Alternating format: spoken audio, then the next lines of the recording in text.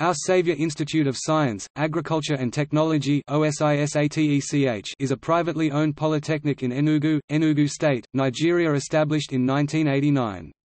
It was founded by the Catholic priest Reverend Fr. Professor Emmanuel Edeh, who also founded secondary schools and the Madonna University, Okija Campus, Elele Campus, Enugu Campus, Anambra State, Caritas University, Amorji Nike Enugu.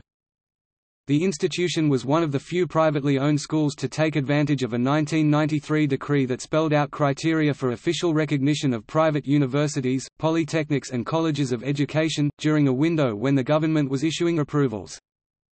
In a ranking by the National Commission for Colleges of Education of Performance in the 1999–2000 academic year of 75 federal, state and privately owned colleges, the institute was at the foot of the list. In November 2012, OSISATECH College of Education receive award for teachers development in Nigeria. It was given by NCCE. In December 2009, Emmanuel Edeh was honored with the African Film Festival and Academy Award in London.